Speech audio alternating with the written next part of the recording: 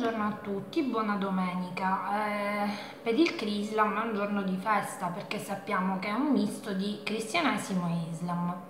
In questo video eh, già vi ho spiegato quali sono le convinzioni del Crislam e vi volevo dire l'importanza della preghiera.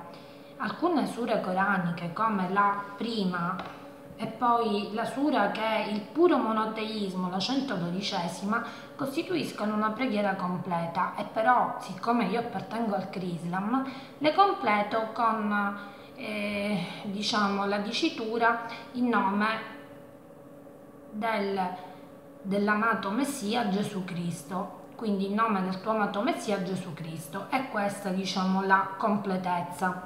Quindi la prima sura è in nome di Allah, il compassionevole e il misericordioso, la lode appartiene ad Allah, Signore dei mondi e di nuovo ripete, il compassionevole e il misericordioso, Re del giorno del giudizio, te noi adoriamo e a te chiediamo aiuto, guidaci sulla retta via, la via di coloro che hai colmato di grazia, non di coloro che sono incorsi nel, nella tua ira né degli sviati.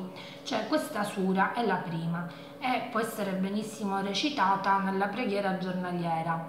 Poi c'è una sura, la 112esima, che secondo gli esegeti, eh, cioè gli studiosi eh, della tradizione coranica, corrisponde alla recitazione di un terzo del Corano ed è la sura Al-Ikhlas, il puro monoteismo, che insiste sull'unità di Dio. In nome di Allah, il compassionevole e misericordioso, di Egli Allah è l'unico Allah è l'assoluto, non ha generato, non è stato generato e nessuno è uguale a Lui.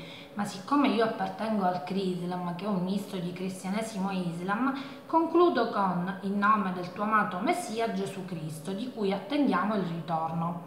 Quindi eh, diciamo che la preghiera giornaliera è questa, la recitazione della prima sura Al-Fatiha è il puro monoteismo, eh, la 112esima.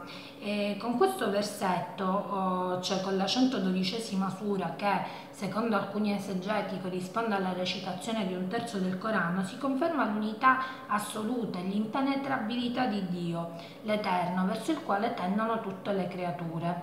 Nella Bibbia il suo nome è Yahweh, infatti nel Crislam non lo chiamiamo solo Allah, ma lo chiamiamo Geova Allah. E la recitazione di queste sure si conclude nel nome del tuo amato Messia Gesù Cristo, quindi è questa la preghiera, preghiera che va, si ripete giornalmente.